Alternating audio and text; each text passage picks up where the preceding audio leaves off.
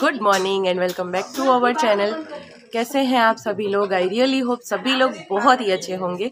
और अभी जो है सिर्फ़ और सिर्फ़ सुबह के साढ़े छः बज रहे हैं और यहाँ पे देखिए, सभी लोग उठते जा रहे हैं, कोई वहाँ पे नहाने जा रहा है और नहाने में तो बहुत ही ज़्यादा लंबी लाइन लगी है। और यहाँ पे हो रही है नाश्ते की तैयारी गर्मा गर्म गाठिया, चाय भाखरी तो चलिए आप सब लोग भी नाश्ता करने के लिए और अंदर चल रहा है। पूजन वगैरह की तैयारी चल रही है, जो अभी थोड़ी देर में मैं आप लोगों के साथ में शेयर करूँगी। यहाँ पे देखिए, ये लोग उल्टे, सीधे किस तरीके से सो रहे हैं। रात को इतनी देर से सोए थे, डेढ़ दो बजे तक सोए थे।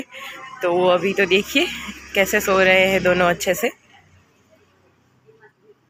तो यहाँ पे है गर्मा गर्म गाठिया, मिर्ची और भाखरी और इसके साथ में चाय। चलिए आप लोग भी आ जाइए नाश्ता करने के लिए।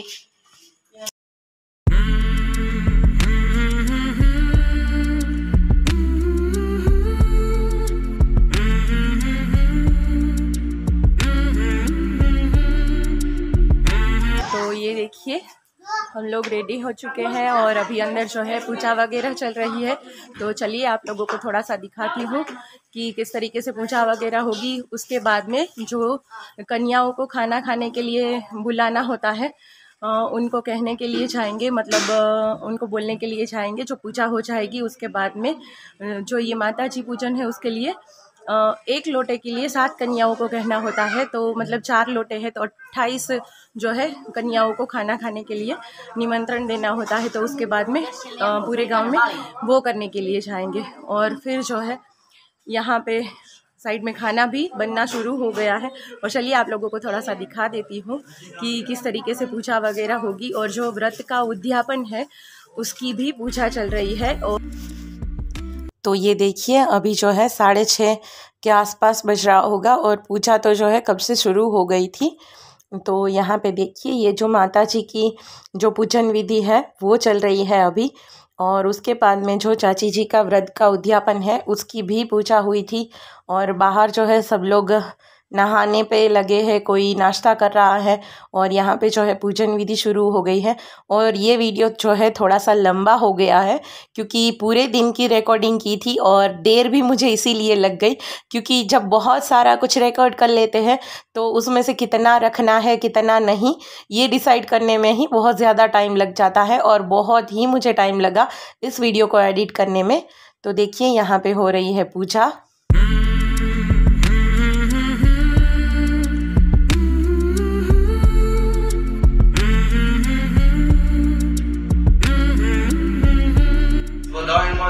स्थापयामि मृत्युलोकाभ्यं स्थापयामि गणपते नमः स्थापयामि अदभ्यो नमः स्थापयामि मरुभ्यो नमः स्थापयामि पृथ्वी नमः स्थापयामि गंगादेवी नमः स्थापयामि सप्त सागरेभ्यो नमः स्थापयामि ओम भैरवे नमः स्थापयामि और ये सब लोग देखिए, नहा के तैयार होके आते जा रहे हैं। जैसे जैसे सब लोगों की बारी आ रही है नहाने की, उस तरीके से सब लोग जो है नहा के फिर रेडी होके आते जा रहे हैं। और यहाँ पे देखिए, ये जो व्रत के उद्यापन की जो है पूजा, वो भी हो चुकी है और ये विष्णु भगवान की यहाँ पे मूर्ति रखी गई है और उन्हीं का पूजन होता है। तो देखिए, कुछ कुछ इस तरीके से जो है पूजन वगैरह सब कुछ हुआ था और ये चौक चौकी कल हम लोगों ने रात को लगाया था और इसी को लगाने में ही रात में बहुत ज़्यादा देर लग गई थी। और अभी देखिए, जो है माता जी का पूजन स्थापन, स्थापना की जो पूजा होती है, वो संपूर्ण हो चुकी है और यहाँ पे चल रही है आरती।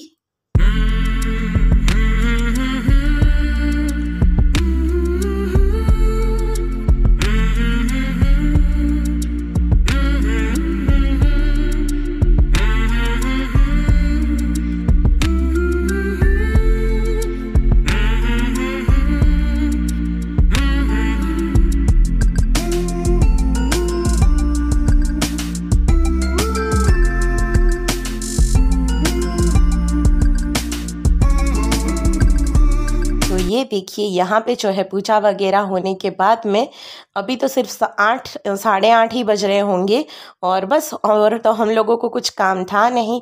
तो भाभी जो है यहाँ पे हार्दी और स्तुति दोनों को नील पेंट लगा रही है। और बाकी सब लोग भी रेडी होके बैठ गए हैं बातें करने के लिए। क्योंकि यही तो टाइम होता है, सब मिलते हैं तो फिर बातें बातें करते हैं।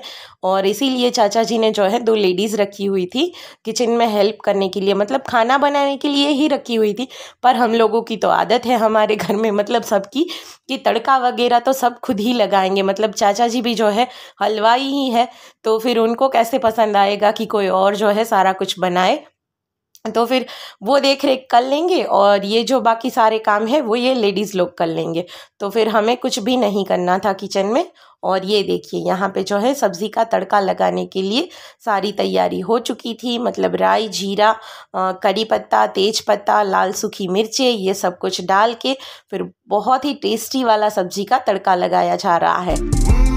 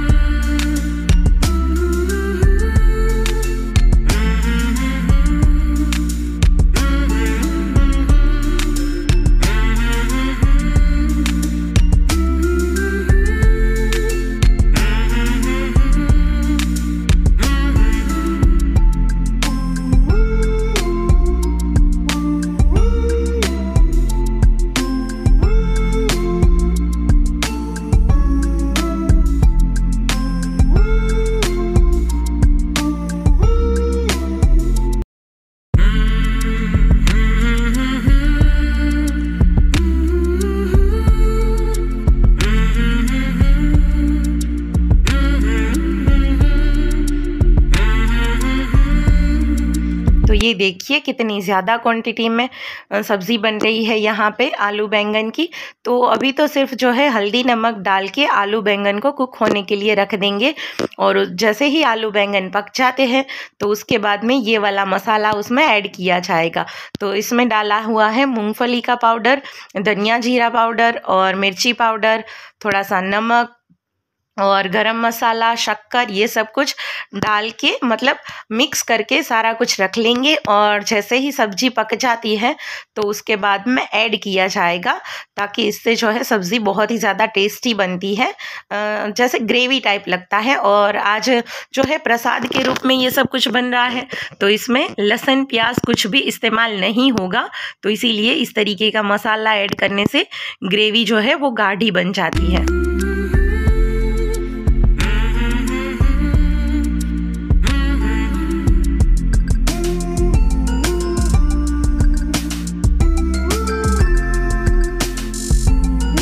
देखिए, यहाँ पे खाना बनाने की आज छुट्टी थी तो सब लोगों ने आज ज़्यादातर टाइम यही काम किया था। सेल्फी लेना फ़ोटोज़ निकालना और सब लोगों के साथ में गप्पे लड़ाना, यही था आज का हमारा काम पूरी दोपहर तक। और ये देखिए, सब लोग यहाँ पे बैठे हुए हैं और पीछे किचन में काम चल रहा है और ये देखिए हार्दी के पापा यहाँ पे बैठ के किसी से फ़ोन में गप्पे लड़ा रहे हैं। और बस ऐसे ही चल रहा था आज का तो पूरा दिन।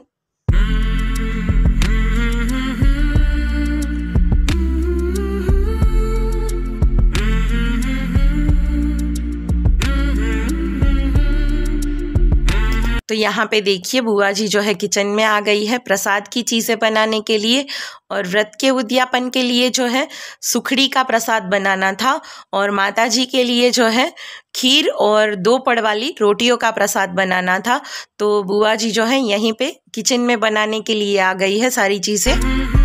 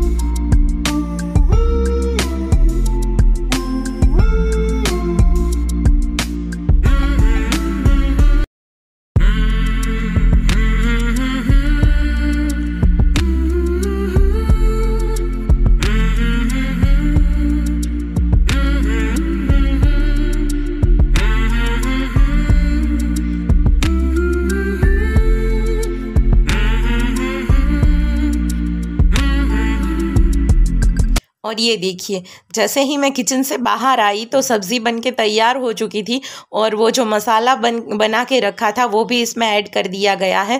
तो अभी सब्ज़ी तो बिल्कुल भी तैयार हो चुकी थी और यहाँ पे जो है दाल का तड़का लगाया जा रहा है जिसमें खड़े मसाले ऐड किए गए हैं और जो है तेज पत्ता, लाल, सूखी मिर्चें, हरी मिर्चें, अदरक ये सब कुछ डाल के जो है दाल का तड़का यहाँ पे तैयार हो रहा है।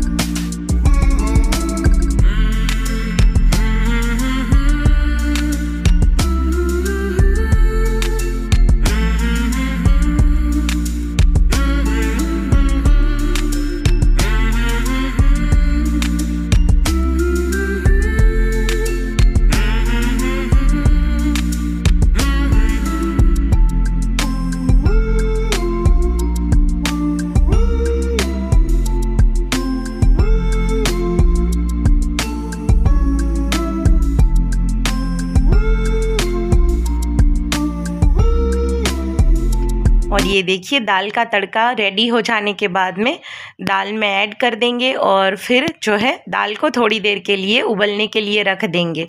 तो ये देखिए, कितने, देखने से ही कितनी टेस्टी लग रही थी दाल और सब्ज़ी, दोनों ही इतने टेस्टी लग रहे थे।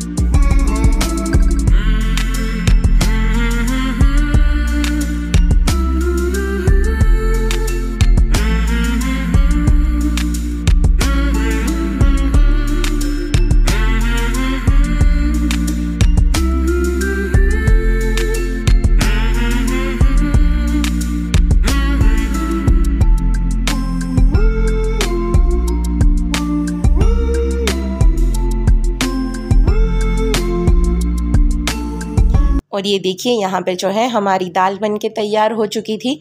तो सब्ज़ी बन गई, दाल बन गई, चावल भी बन गए थे। और आज जो है हम लोगों ने ना फरसान में भजिया नहीं रखे थे, क्योंकि बहुत ज़्यादा गर्मी थी। तो हम लोग जो है खमन बाहर से लेके आए थे और अभी जो है यहाँ पर सिर्फ़ उसका तड़का लगाना है। तो खमन का तड़का लगाने के लिए भी मिर्ची को बारीक कट कर लिया है और हींग थोड़ी सी रख ली है। कड़ी पत्ता, तेज पत्ता, लाल सूखी मिर्चें, ये सब कुछ डाल के और फिर चीनी और पानी डाल के जो है, तड़का बना लेंगे इसका। और फिर जो खमन हम लोग बाहर से लेके आए हैं, उस पर ना थोड़ा थोड़ा करके इसको मिला लेंगे। तो फिर खमन ढोकला बन के तैयार हो जाएँगे।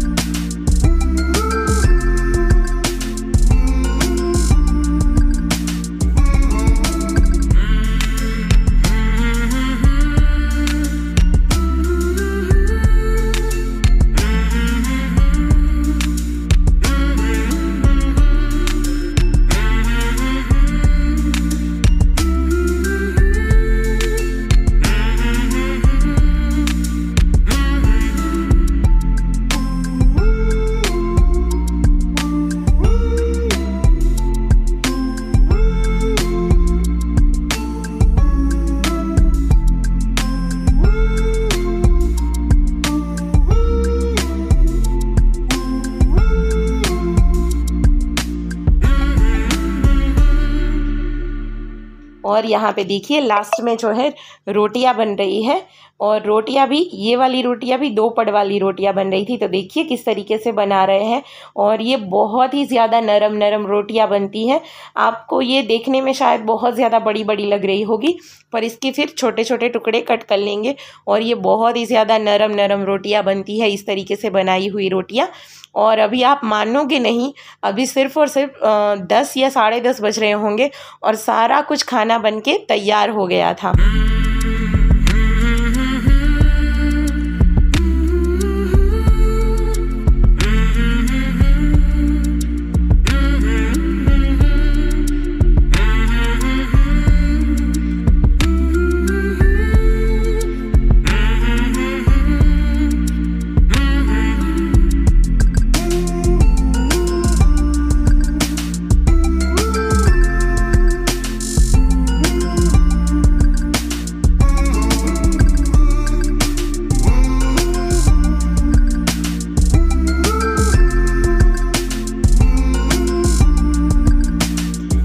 यहाँ पे देखिए, सबसे पहले जो है भगवान जी को भोग लगा दिया है और माता जी को भी खीर और रोटियों का भोग लगाया है। तो उसके बाद में जो है, जिन कन्याओं को हम लोग न्योता दे के आए हैं, वो कन्याएँ आएँगी और उनका पैर धोना होता है। फिर उनके पैर धोए जाएँगे और फिर जो है कन्याएँ सबसे पहले खाना खाएँगी और उसी के बाद में सारे लोग खाना खाएँगे।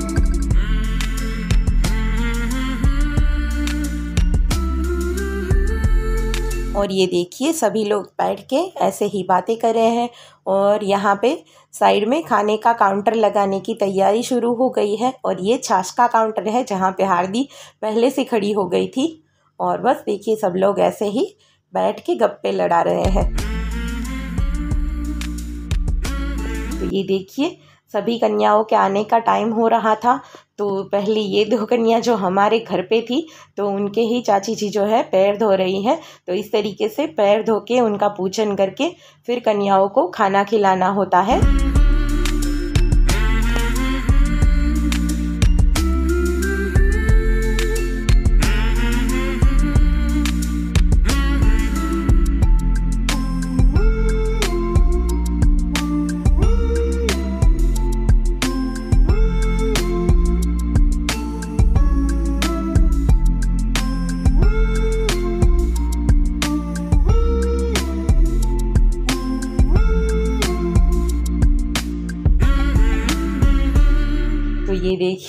एक साथ कितनी सारी लड़कियाँ आ गई थी और स्तुति देखिए सबको कैसे देख रही थी। और सबसे पहले इन सभी को खाने के लिए बैठाएँगे और उसी के बाद ही सब लोगों का खाना होगा।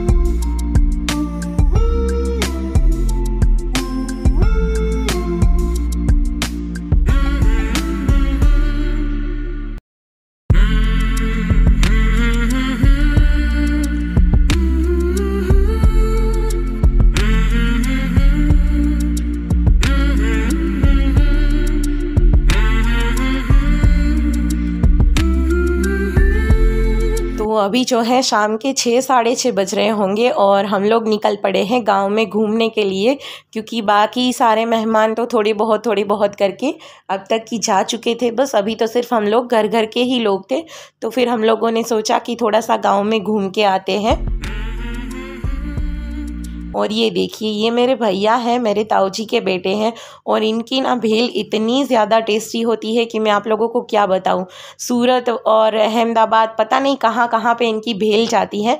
यहाँ पे जो बस निकलती है ना उनमें इनको पार्सल भिजवाना होता है। उतनी ज़्यादा फ़ेमस है इनकी भेल। और ये ना सिर्फ़ भेल में कुछ ज़्यादा कुछ इंग्रेडिएंट्स नहीं है इनकी। आ, सिर्फ़ मुरमुरा सेव और पोहा ये तीनों ही चीज़ें डालते हैं। पर इन ये जो दो चटनी बनाते हैं ना लाल वाली चटनी और गुड़, इमली का पानी। वो दो ही चीज़ें इतनी ज़्यादा टेस्टी होती है कि भेल में अगर कुछ भी नहीं डलता है ना, फिर भी भेल इतनी ज़्यादा टेस्टी लगती है। तो ये देखिए, ये है उनकी लाल चटनी, जो लहसन और लाल मिर्ची से बनती है और ये है गुड़, इमली का पानी। पता नहीं कि ये दो चीज़ें डालने से ही उनकी जो भेल है ना, बहुत ही ज़्यादा टेस्टी बनती है।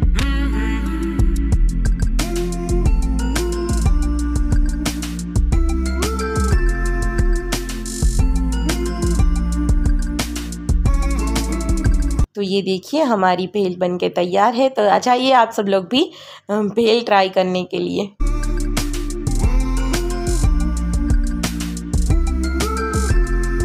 और देखिए, हम लोग जैसे ही घूम के आए तो फिर संध्या का टाइम हो चुका था। और अभी यहाँ पे देखिए, शाम के दिया बाती चल रहे हैं और धूप लगाना होता है माता जी को। और थोड़े बहुत गरबा करेंगे माता जी के सामने। और शाम को भी उनको दूध वगैरह का भोग लगाना होता है। तो अभी जो है, हम सब लोग मिल के वहीं कर रहे हैं और उसके बाद में थोड़े बहुत गरबा करेंगे। और चाची जी ने जो है शाम का खाना वगैरह तो बना के ही रखा था जब लोग हम, जब तक हम लोग बाहर से घूम के आए। और ये देखिए, इस तरीके से थोड़ी देर के लिए हम लोगों ने गरबा किया था। और फिर बस वहीं शाम का खाना वगैरह। और फिर शाम को तो हम लोग इतने ज़्यादा थक गए थे कि इसके बाद में जो है मैंने कुछ भी ज़्यादा रिकॉर्ड नहीं किया था। तो आपको ये वाली वीडियो कैसी लगी, आप मुझे कमेंट करके ज़रूर से बताना। और बस अगर वीडियो ज़रा सी भी अच्छी लगी हो तो प्लीज़ अपने फ्रेंड्स और फैमिली मेंबर्स के साथ में शेयर कर दीजिएगा और चैनल पर नए हैं तो सब्सक्राइब भी ज़रूर कर दीजिएगा।